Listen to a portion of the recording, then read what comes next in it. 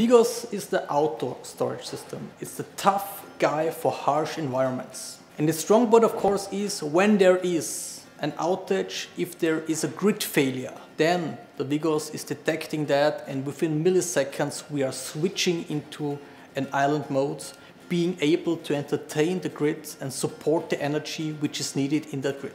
But more so, of course, in applications where there is no grid available, we are talking about island mode or off-grid applications. You know, our outdoor storage system Vigos, our tough guy for rough environments, has its strong points there also with its energy management system. We can, of course, integrate several and multiple uh, producers of energy like photovoltaic, solar, diesel generators, or also wind turbines. So all those can be integrated in one hook onto the Vigos, the outdoor storage solution. And of course, we can also then entertain multiple consumers, having again the smartness that we can do the peak shaving on those consumers. If the load would be too much, we can kick it out and, and shave the, that load in order to ensure that we have got a stable microgrid or off-grid solution.